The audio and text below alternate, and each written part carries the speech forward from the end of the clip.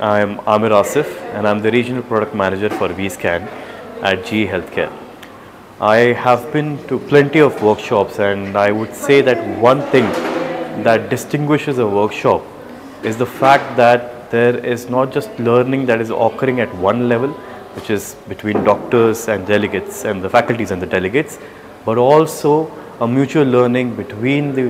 uh, you know, the device manufacturers, the device providers and the, the delegates and uh, the faculty members. So there is a lot of to and fro in terms of you know what we learn through these workshops. And interest, interesting insights come into picture which uh, helps us also to improve on our products and uh, take inputs from the faculty members and get ground level feedback on you know what is it what are the important aspects of uh, different scans and diagnosis that we do. Thank you